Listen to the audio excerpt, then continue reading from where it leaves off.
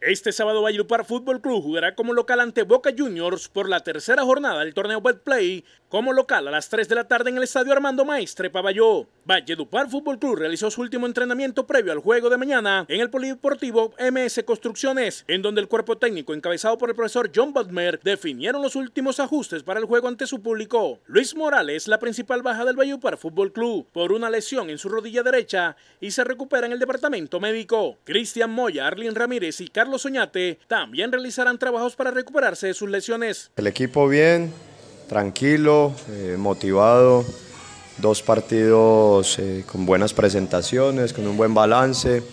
Lastimosamente no logramos convertir eh, el penalti en el último minuto con Orso que nos podría tener ahorita en la parte alta de la tabla, pero creo que los muchachos se han dado cuenta que adentro el trabajo es funcional y, lo vienen aplicando y desarrollando de la mejor manera.